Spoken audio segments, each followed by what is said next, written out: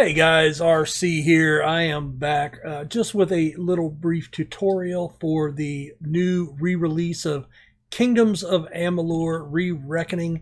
So this is how to unlock a locked chest. First tip, don't put any points into uh, your lock picking. If we take a look at status and skills, do not put anything into lock picking or dispelling. Dispelling may help out, but you know, really you can just dispel every, you know, you could blow up every locked, uh, you know, chest and then just go get a, uh, a healer to dispel you, uh, to remove your curse. Lock picking, very easy. Uh, you will break lock picks, but they're cheap. Just buy a lot. And just to kind of show you, uh, this is an average chest. I have no skills that you just saw, and I just started the game. I'm in the first dungeon after leaving the starting area, and you see I already have 21 lockpicks. I have not even made it to the first town yet. So, pick lock, and basically just start wherever it's at and hit the D button, which is your un, which is your pick. And what you want to do is you want to look for this bar as it moves across. You want to see how fast it moves. Does it move relatively quickly? Is it slow? Does it start to stutter? And the sooner it starts to do that, it gives you an idea. So let's see what it does.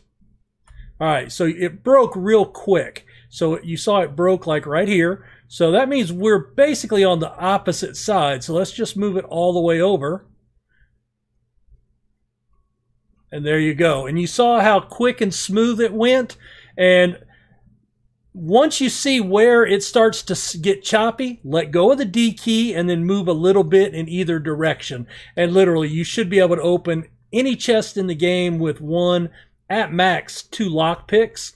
And don't waste any of your points in that for skills because you don't have many to start with. Uh, and you only get one per level, so you don't get a whole lot. Uh, just as an off topic on your skills, you really want detect hidden and you want to get up to five points. And you really don't need to go much beyond that, but this will give you uh, secret doors so your hidden treasures are revealed. Uh, the way your enemies are facing, which is going to be really helpful if you're going to be more of a backstabbing stealth kill type character.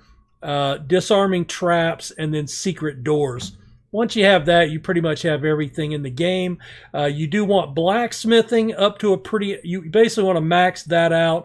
And depending on your class, uh, you may want to max out stage uh, if you're a mage. Uh, persuasion, you want to probably get at least three points uh, to be able to, you know, open up some discussion options. And uh, stealth, if you're playing a rogue, you'll want a little bit. But again, the backstabbing is few and far between in this game, so even more stealth won't help because the way they have the NP the enemies facing, they basically will always see you except maybe in a handful of fights for the whole game. So again, kind of a waste. Uh, blacksmithing very important. Detect hidden, probably the most important. And uh, persuasion, you'll want a few points there. And if you're going to work on gems, mostly for your uh, a mage character, that would be important. Honestly, alchemy, uh, you don't need. Mercantile, you don't need because I've read some posts. People end up with over two million gold just on nor you know regular gameplay. More gold than you'll ever be able to spend. So you don't need more. Uh, that's just going to sit around. And alchemy, if you have the detect hidden, all the chests you'll find, all the little hidden hidden treasures you'll find, you'll honestly have probably more potions uh, than you need anyway. Uh, so you really don't need to make any more. So a little unbalanced at the end of the day. But anyway, Lockpicking 101 hopes that helps you out, and we will see you guys later on. Take care. Bye.